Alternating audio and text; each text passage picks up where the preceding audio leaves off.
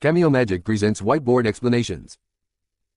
This video will explain model-based systems engineering, why it is important, its purpose, and the vision. To explain MBSE, it's easiest to break down the term by splitting it up into two parts. Model-based and systems engineering. Now for the first half of the acronym, model-based. The alternative to a model-based approach is a document-based approach where all of the data is written in a document rather than saved within computer models.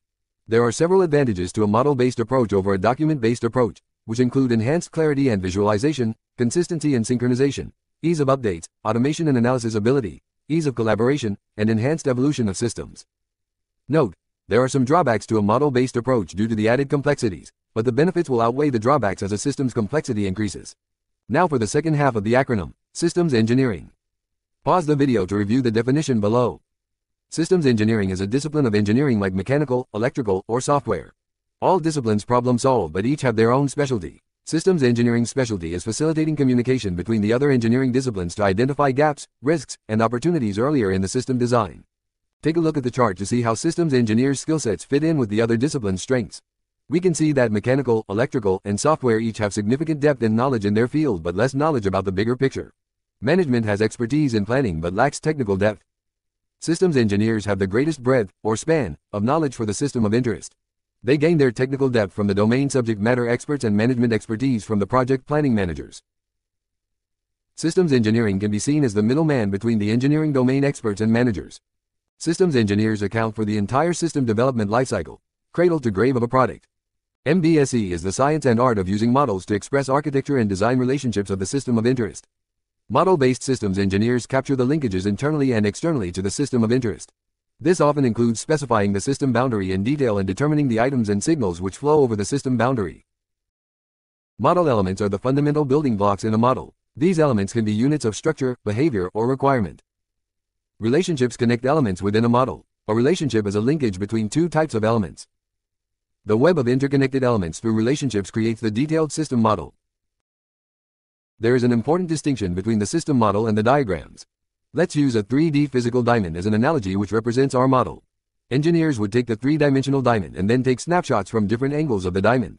The data from the snapshots, or perspectives, would be rendered in two dimensions on a diagram. The sum of the diagrams would give the engineer the information needed to cut the diamond to spec. Unlike the diamond, the system model is more than three dimensions. Therefore, we cannot actually see the model, we can only view the diagrams.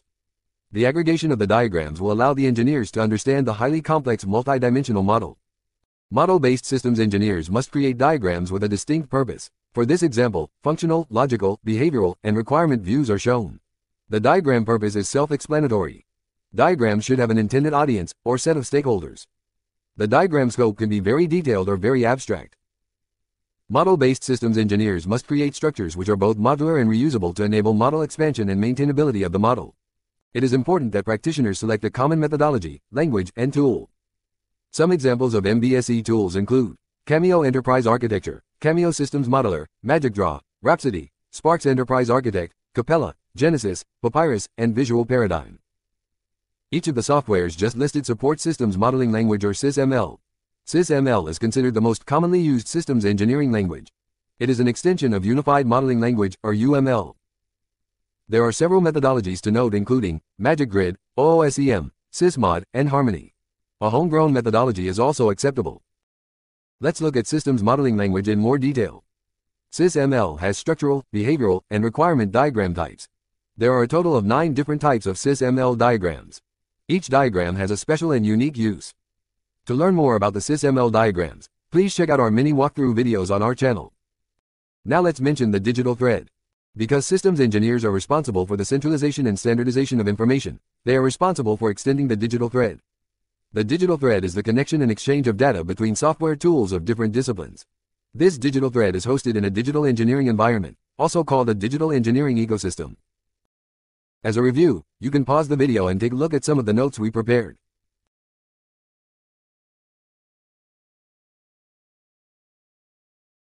Please consider watching our other videos on similar topics which includes digital transformation, digital engineering, digital engineering environment, SysML, and digital thread. Check the description below for links to the other videos. Thanks for tuning in and we hope you enjoyed the content.